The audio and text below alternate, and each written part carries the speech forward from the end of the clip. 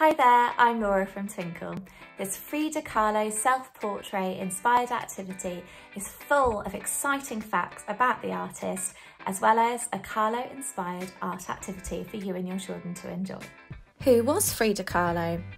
Frida Kahlo is considered to be one of the most important artists of modern times. She was famous for painting self-portraits, pictures of herself, but she was particularly famous for painting women as strong people. What will children have to do? To begin, use the activity to inform the children's knowledge of Frida Kahlo as an artist by using the information about her provided. You could use this information in a number of different ways. For example, you could try asking children to read the information and then find five interesting facts about her to feed back to the group, and then this could lead on to a class discussion. Or, if you wanted to spend longer learning about Frida Kahlo, this activity sheet could help inform children when making their own fact file or poster about her.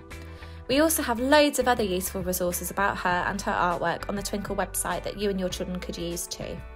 Before asking the children to add colour to their self portrait, ask them to surround their drawing with items, colours, and places which reflect them and their life, as this is very much in the style of Frida Kahlo herself.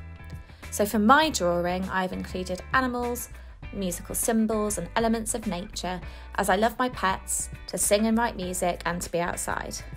Once children's drawings are complete, they should add colour using a media of their choice.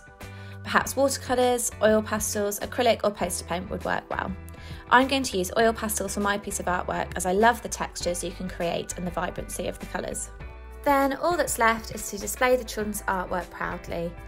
Maybe you could play a game to see if the children in the class can work out whose piece of artwork belongs to who, based on the images surrounding the self-portrait. Well, that's all from me today. I really hope that you and your children feel inspired to create a piece of artwork in the style of the amazing Frida Kahlo. Until next time, bye for now.